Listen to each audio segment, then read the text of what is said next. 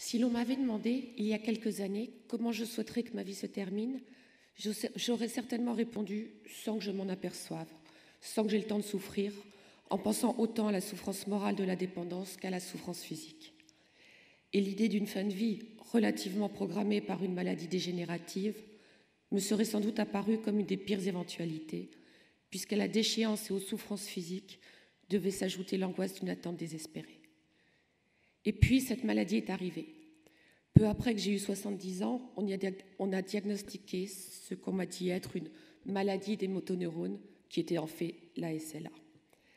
Elle a arrêté tout net ce qu'était notre vie, une vie de parents et de grands-parents comblés, de retraités bien occupés, bien insérés dans le tissu associatif et culturel de la ville où nous vivions. Tout cela brutalement s'est effondré. Il ne restait plus que la perspective d'une évolution inexorable. Une maladie grave à cet âge, ce n'est pas un scandale. Il était normal que je me prépare à la fin. Mais la SLA, ce n'est pas seulement, si l'on peut dire, une maladie grave qui peut mener à une issue fatale.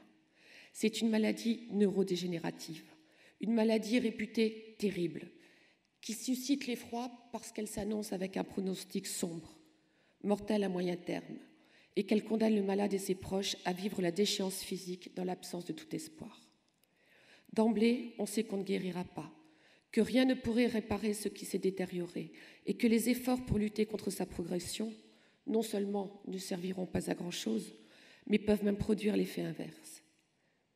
Dès qu'on se sait atteint par cette maladie, on se sait condamné. Et autour du malade, tous le savent. Je n'ai jamais oublié le jour où mon mari a vu rentrer dans son bureau, à l'hôpital, un collègue qui était aussi un ami, lui dire qu'il était foutu. Il venait d'apprendre qu'on lui avait diagnostiqué une SLA. Si l'on m'avait dit, au moment des premiers signes, ce que serait ma vie quelques mois plus tard, j'aurais pensé, comme cet ami, que pour moi c'était foutu, que je n'avais plus qu'à attendre la fin dans l'affaiblissement et la disparition progressive des fonctions de la vie. C'est peut-être la raison pour laquelle je n'aime pas qu'on me rappelle ma maladie. Quand le nom de la SLA ou de la maladie de Charcot est avancé, c'est cette image sinistre qui vient avec elle. Or, dans cette image, je ne me reconnais pas, je ne me sens pas malade en ce sens. Il ne s'agit pas de déni, je sais bien que je suis atteinte de cette maladie terrible et que les aides qui me sont apportées sont les conditions de ma survie. Mais ma vie ne ressemble pas à ce que laisse penser la description de la maladie. Elle ne ressemble pas à ma propre anticipation de ce que je me voyais condamnée à subir. Si j'avais à imaginer au début la vie qui est la mienne aujourd'hui, j'y aurais surtout vu le désespoir d'un bonheur perdu, J'aurais vu l'ombre sinistre de la maladie mortelle à moyen terme s'étendre tout autour de moi et rendre douloureuses les relations avec ceux que j'aime. Et puis j'y aurais vu toutes les incapacités, tous les handicaps qui me sont advenus, comme une telle succession de pertes et de défaites. J'aurais eu du mal à y reconnaître une vie qui vaille la, vie, qui vaille la peine d'être vécue. Les événements prévisibles sont en partie arrivés. Aujourd'hui, je ne peux plus parler et je suis hydratée et alimentée par une sonde gastrique. S'ajoute à cela une altération progressive des mouvements, des difficultés respiratoires et des étouffements qui me laissent parfois pantelante, comme vidée de toute force. Les événements étaient prévisibles, mais la vie qui serait la mienne sous l'effet de ces événements, et qui n'est pas ma vie d'avant plus le poids de tous ces handicaps, ou moins les capacités que j'ai perdues, mais une vie différente une amie très proche, qui est aussi atteinte d'une maladie neurologique, m'a posé il y a quelque temps cette question apparemment absurde. Si, par un coup de baguette magique, ou disons par une découverte extraordinaire de la médecine, tu pouvais effacer ta maladie, redevenir celle que tu étais avant elle, est-ce que tu le souhaiterais? Et elle ajoutait Réfléchis bien avant de me répondre. Qui, atteint d'une SLA, ne souhaiterait pas retrouver la santé perdue? Souvent, je rêve que je parle, que je mange et que je bois normalement. Bien sûr que je rêverais, comme on dit, de retrouver toutes les capacités que la maladie m'a ôtées. Mais je sentais bien que cette réponse simpliste ne suffisait pas. Mon ami m'avait prévenu, réfléchis bien. Et en y réfléchissant bien, je me suis rendu compte que la réponse n'est pas si évidente, et même qu'il n'y avait pas de réponse à cette question, que c'était une fausse question. Bien sûr que je souhaiterais être libérée de la maladie. Qui ne souhaiterait pas être en bonne santé plutôt que malade Mais la maladie n'est pas un fardeau que je traînerai derrière moi et dont je pourrais être délivrée. Pas plus qu'elle n'est un ennemi intérieur qui se serait insinué en moi et qu'il suffirait d'expulser pour que je me retrouve inchangée, telle que j'étais avant elle. En fait, cette maladie n'est pas distincte de moi. Plus exactement, elle n'existe pas. Ce qui existe, c'est que ce que je suis aujourd'hui, avec les handicaps et les faiblesses qui ne me sont pas seulement arrivés, mais qui m'ont changé. Je ne dis pas que j'aime ce que je suis devenu, mais seulement que c'est ma vie, ou plus exactement que c'est la vie pour moi, telle qu'elle est aujourd'hui, et que l'idée de la maladie serait seulement un poids qui nous ralentit, un empêchement à être nous-mêmes, n'est pas une idée juste. Il arrive qu'une amie qui m'a fait part de ses malheurs ou de ses souffrances se reprenne en me disant ⁇ Je ne devrais pas me plaindre devant toi. Tout cela n'est rien auprès de ce que tu vis. ⁇ Ces mots me touchent par le souci d'attention dont ils témoignent, mais ils m'assignent le statut d'une exception tragique dans laquelle je ne me reconnais pas.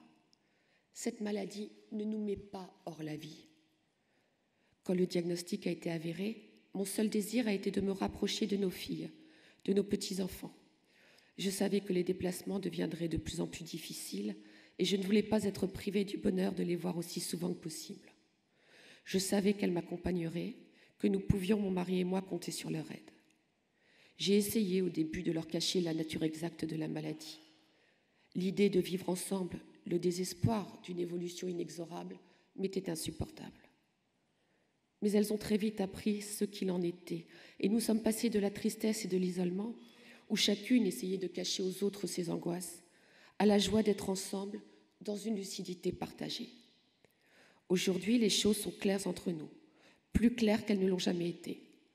Nous vivons dans l'ouverture du présent, quel qu'il soit, et dans cette ouverture, plus proche que nous ne l'avons jamais été les unes des autres.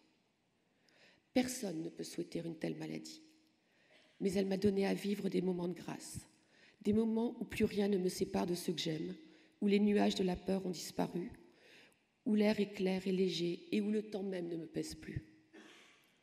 Il m'arrive de penser que cette maladie, je parle de celle que je connais, la mienne, dispose d'elle-même les conditions de la vie intérieure, de la spiritualité. La violence de la secousse a fait tomber tout ce à quoi nous étions attachés, tout ce qui nous occupait. Elle a fait le vide. Mais dans ce vide, on voit bientôt apparaître une question qu'on ne s'était jamais posée, ou jamais avec cette nécessité et cette urgence. La question de ce qui fait la vie digne d'être vécue. Anna Arendt, au XXe siècle, a repris la réponse de Socrate. Une vie sans examen ne mérite pas d'être vécue. J'ai souvent réfléchi à cette réponse et j'ai toujours pensé qu'elle me convenait. La maladie ne m'a pas fait changer d'avis et pourtant tout a changé pour moi. Je croyais que la pensée, l'effort pour se comprendre soi-même ou ce qu'on vit était l'essentiel, ce qui fait que la vie mérite d'être vécue. Mais quand j'ai appris que j'étais atteinte de la SLA, je n'ai eu ni le désir ni la force d'essayer de comprendre ce, qui m'arrivait. J'étais sonnée, comme on dit des boxeurs qu'un coup trop dur a mis à terre. Et puis, j'ai entendu des mots qui m'ont touchée. Il disait cette chose toute simple, cent fois entendue. Il faut vivre au présent.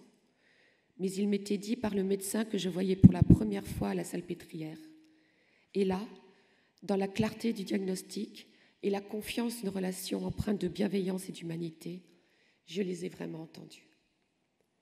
Ce n'était pas une révélation, mais il m'ouvrait une nouvelle voie où la vérité devenait tout ce dont je faisais l'épreuve dans le moment où je le vivais et où l'attention à ce qui m'était donné devenait la seule règle. J'ai fait connaissance avec le mot, aujourd'hui rebattu et malmené, mais pour moi nouveau, de méditation, et avec ce pas de côté, la vie a repris, autrement. Je sais bien que les difficultés ne peuvent que s'aggraver, que l'évolution est inexorable, mais je sais aussi que la maladie, c'est encore la vie, et que la vie est par définition capacité de produire du nouveau, de l'imprévisible, à tout moment et dans toutes les circonstances. Mireille Achambaud de Pade.